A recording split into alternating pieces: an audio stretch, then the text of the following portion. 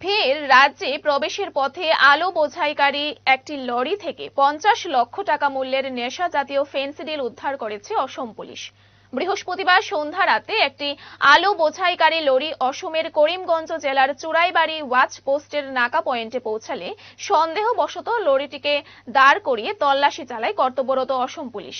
তখন লরিতে আলুর বস্তার ভেতরে গোপন চেম্বার থেকে ছয় হাজার একশো বোতল ফেন্সিডিল উদ্ধার করে পুলিশ, যার কালোবাজারি মূল্য প্রায় পঞ্চাশ লক্ষাধিক টাকা হবে বলে জানা গেছে। এর সঙ্গে লরি চালককে আটক করা হয়েছে। তার নাম বিশ্বজিৎ বিশ্বাস, বাড়ি ত্রিপুরা রাজ্যে। ধৃতকে শুক্রবার করিমগঞ্জ জেলে সিজিএম আদালতে সোপর্দ করা হয় বলে জানা গেছে।